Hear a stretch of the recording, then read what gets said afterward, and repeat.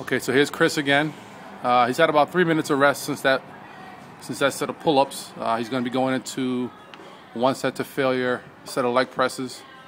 He's got about 270 pounds on a leg press. Two weeks ago, he had 260. All right, so again, as we said before, Chris is going for one set to failure, uh, and his tempo is going to be pretty much what you saw on the last video. All right, Chris, on your movement, bud. Ease in, ease in. It's too fast. It's too fast. Soft tap. Soft tap. I want you to spend a little bit more time in your in your in your transition. At the bottom, especially. Still a little fast. Spend some more time, man.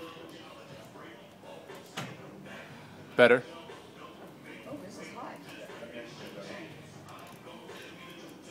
Coming in too fast, boss. You're coming in too fast. More control in the wind.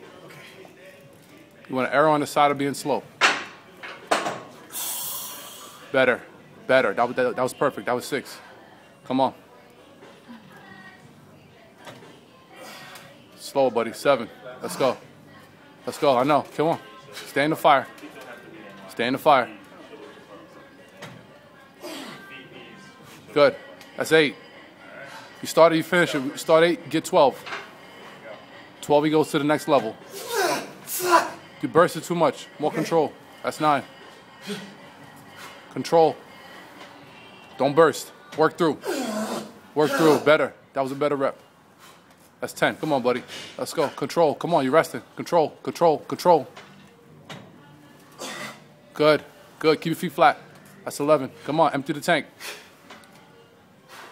Control. Control. Don't burst. Don't burst. Don't burst. Work through. Come on. Ah. He was right there. He was right there. It was a good set, nonetheless. 11 reps. It's about a minute and uh, uh, 40 seconds time on attention. And again, that's going to be his, uh, his, uh, work, his, his leg work for the week until next week this time.